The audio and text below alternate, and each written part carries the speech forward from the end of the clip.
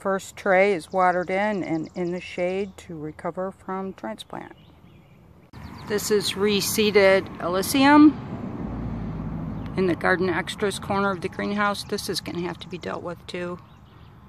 I can put these in little pots and sell them into summer is what I'm thinking. That's when the gardens, you know, all the spring, summer things have bloomed and you need that pop of color for the end of the season. This will do it. Peat moss is what I'm using in my mix. I'm going to go heavy on the peat because they're transplants and they need the water and the, the chicken area. That's where my uh, peat moss is hanging out. Work area. I seen some raspberries growing in the grass. Going to have to dig them out too. So that's how Garden Extras grows. I garden and I find things that need to be dealt with that I don't want to throw away. These are the raspberries growing in the grass. Put them in a pot and save them for the fall sale.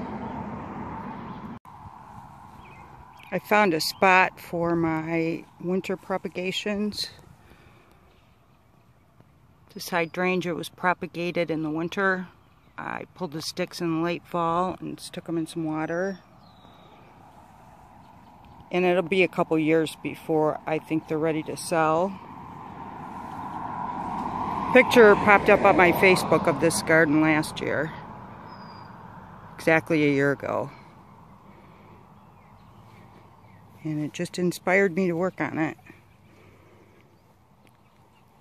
So I pulled things out of Garden Extras, which I've mentioned before. I do shop there when I'm redoing a garden.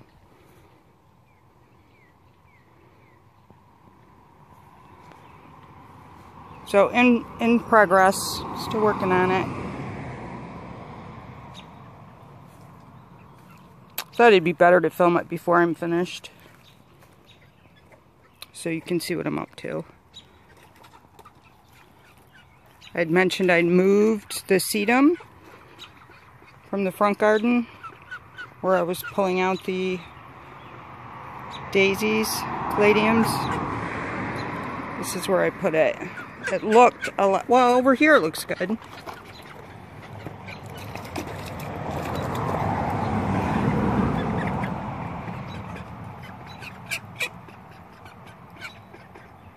I wanted to put some wild daisies back here but they did not take.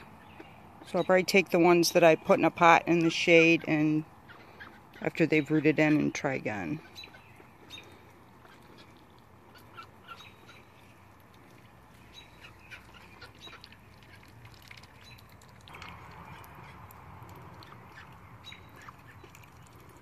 Oh my gosh, my favorite daisy. I do not know the name of this one, but this is my favorite one. I seeded these myself. I didn't buy them in a nursery, and only two took. For a brief minute, there were three, but that was way worth it. Now I'm still trying to reseed them. Because this garden was all redone, who knows if there's any seeds on top where they can sprout. Morning ducks. They are so happy and so fun to watch.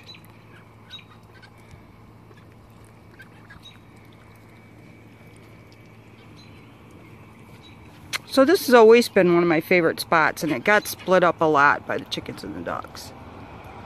But I still have a nice corner here that I will probably keep punching out on the other side instead of this side, which is being destroyed.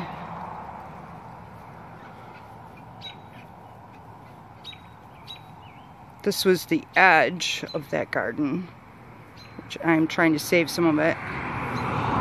And they're not bothering this back piece too much.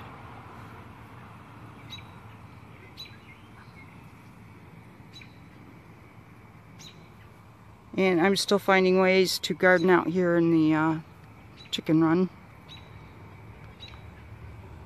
Talking about putting fruit trees in here. And there's grapes that's to climb the fence this year.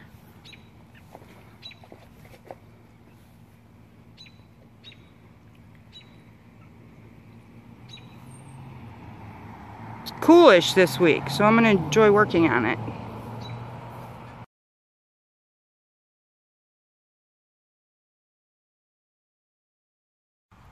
One last thing before I sign off. These are the African daisies I took out of the corner garden. They're standing up, rooting in.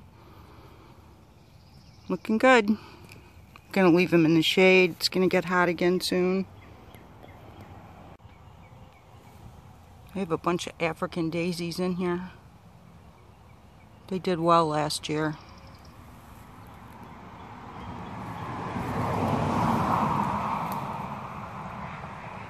And there are hollyhocks that seeded in here a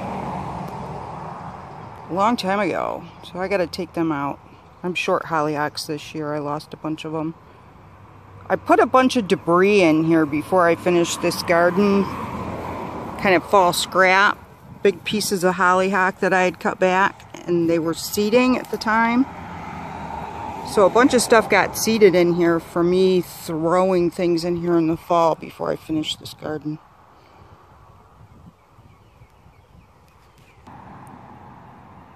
Get back from it a little ways.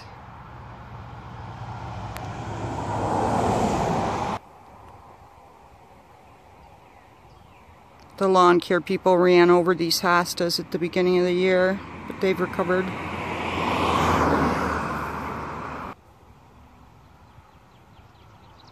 I used the old alyssum from last year to make the path visible.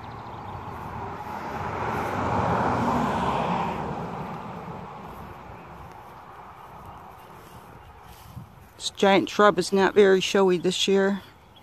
Sometimes it's beautiful. And this is this year's new garden.